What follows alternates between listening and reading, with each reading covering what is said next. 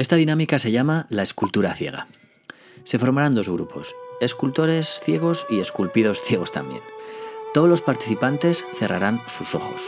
Los escultores tocarán y moldearán a sus compañeros y estos responderán a su voluntad.